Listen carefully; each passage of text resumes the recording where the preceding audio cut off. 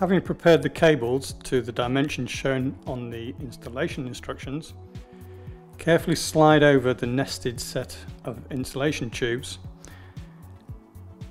placing one set per core.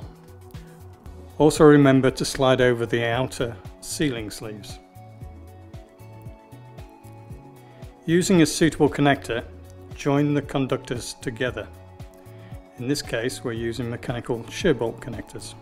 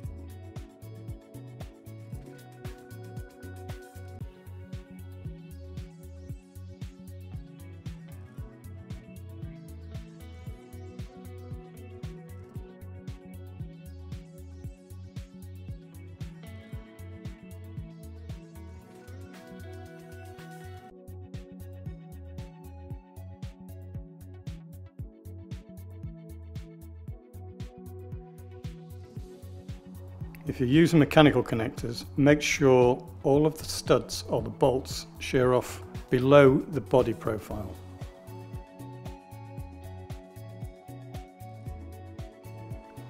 Make sure the finished connector is free from any burrs or sharp edges. With mechanical connectors, you may need to clean away any of the surface grease. Using the cleaning tissues provided, clean the exposed XLP insulation. Starting from the connector side and finishing at the cable screen, do not use these tissues on any other core. Take one of the small pieces of yellow stress control mastic and under tension apply over the screen removal area, extending 10mm onto the extruded screen and 10mm onto the core insulation.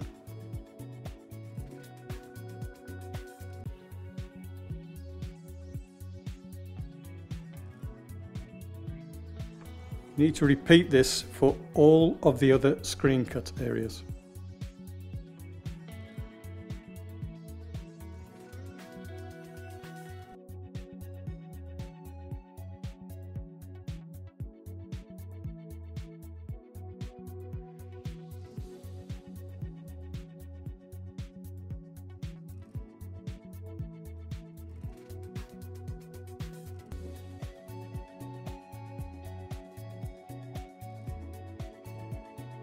If you have mechanical connectors, use small pieces of the yellow stress grading mastic to fill any holes.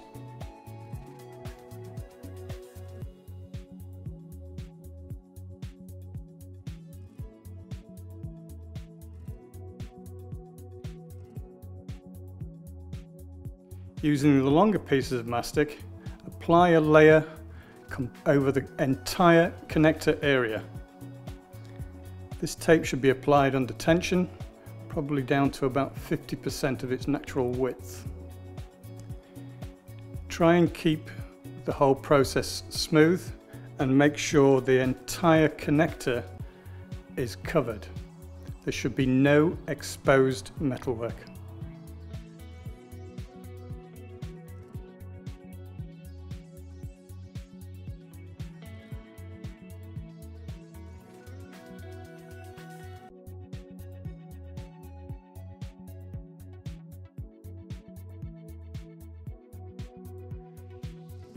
Slide over and centralise the inner of the nested sets of tubings. This is the stress control tube. Make sure it overlaps evenly on either side of the connector. Once positioned, starting from the centre, shrink the tubes in place.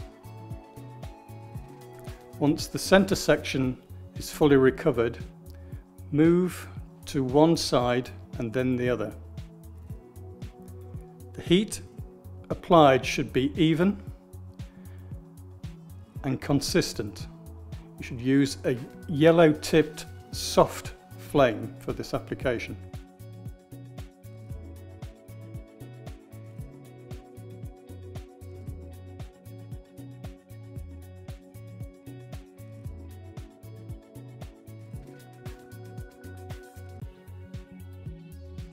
Once recovered, the tube should be smooth and wrinkle free. Next, slide over the outer dual wall tube. This is for 12 kV. If you have a higher voltage, the, the design will actually provide additional insulation tubes. Again, starting from the center, shrink these tubes in place. Make sure the center is fully recovered before moving to either end.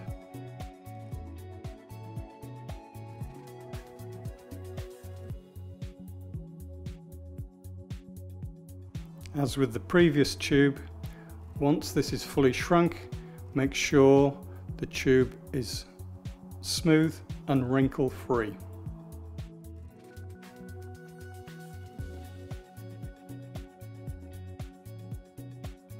Using the strips of black mastic, apply one at each end of the nested set, extending 20 millimeters onto the metallic screen and 20 millimeters onto the dual wall outer sleeve.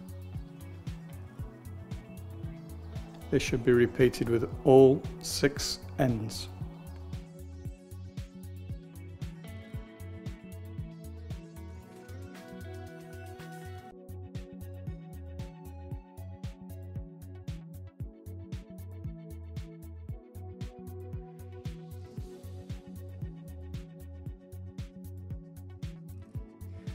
Apply the tinned copper mesh from metallic screen to metallic screen.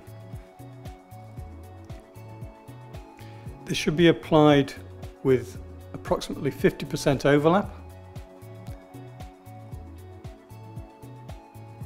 and ensure that the tape is actually tight against the tube below.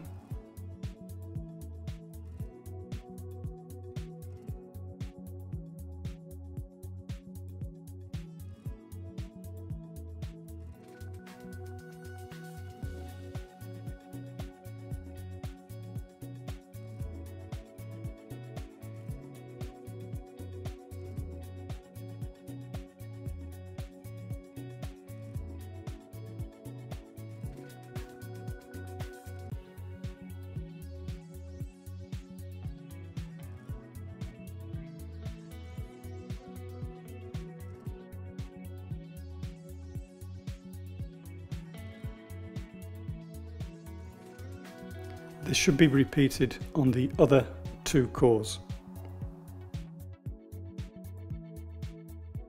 Use constant force springs to attach the tinned copper braid to bridge the metallic screens.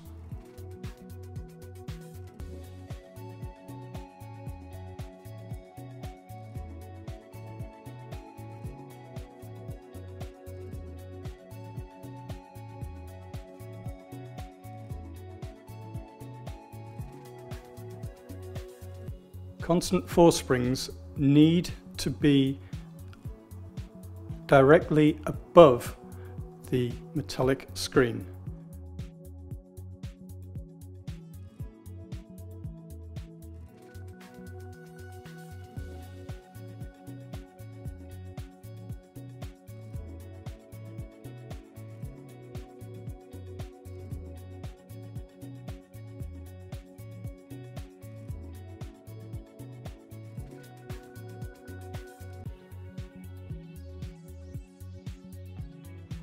Once all three are completed, use additional tin copper mesh to bind the three individual cores together.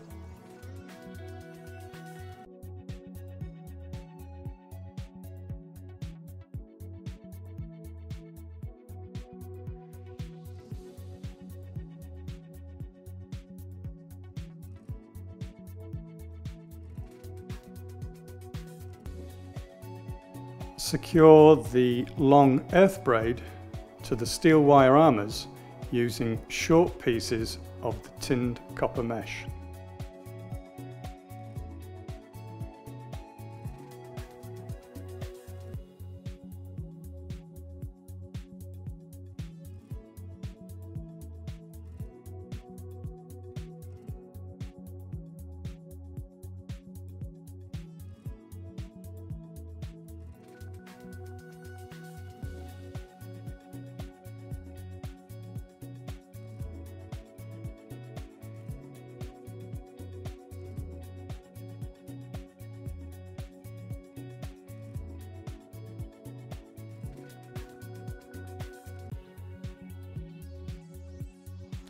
Take the armour wrap and tightly wrap it around the joint bundle.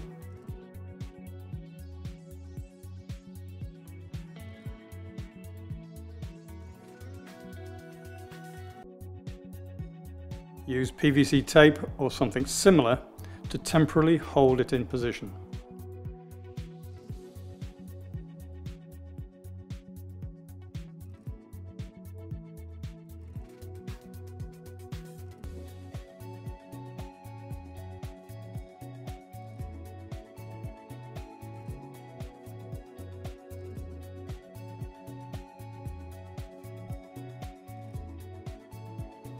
With the hose clamps provided, secure the armour wrap and the earth braid to the steel wire armours, making sure this is a tight connection.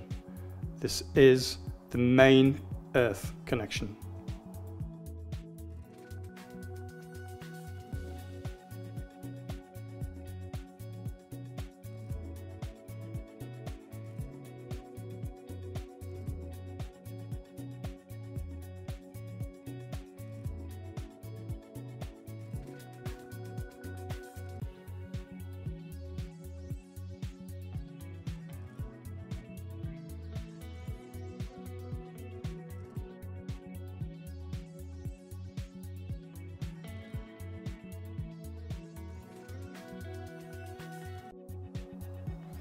Cover any sharp edges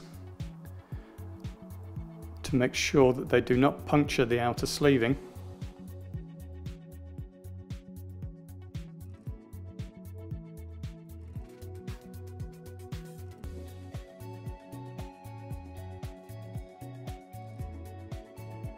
Using the black mastic strips provided, cover all of the hose clamp area. This will give both a cushion for the outer sleeve and also help with the moisture block.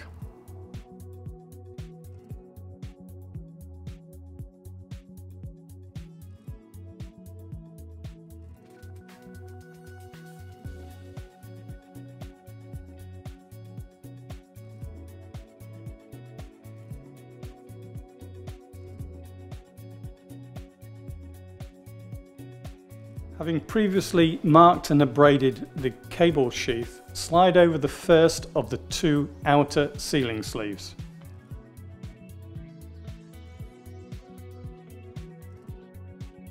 Starting in the centre, apply heat and move gradually towards the cable side, ensuring the tube is evenly recovered and free from any irregularities.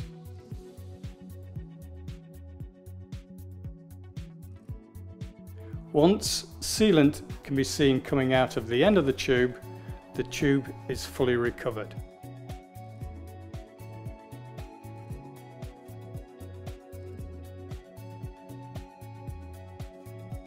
Apply a band of black mastic over the previously recovered tube. And then position the second outer sealing sleeve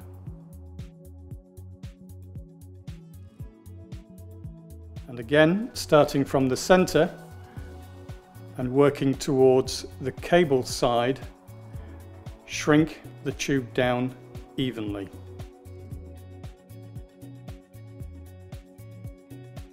Once you see the mastic start to flow from the end of the tube, move to the other direction.